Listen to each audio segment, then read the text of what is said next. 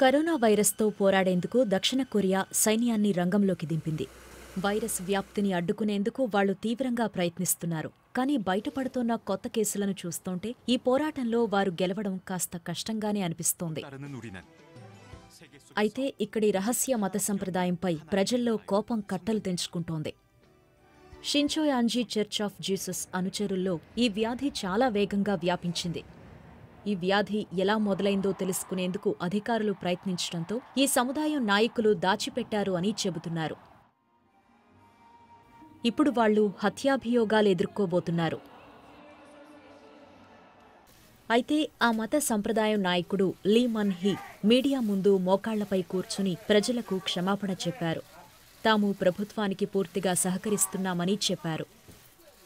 మరోవైపు డీగ్లోని ఆసుపత్రులన్నీ కిటకిటలాడుతున్నాయి. ఆసుపత్రిలో బెడ్ దొరకక ముగ్గురు చనిపోయారు. ఆరోగ్యం విషమంగా ఉన్న రోగులకు ముందుగా చికిత్స అందించాల్సిన అవసరం ఉందని డాక్టర్లంటున్నారు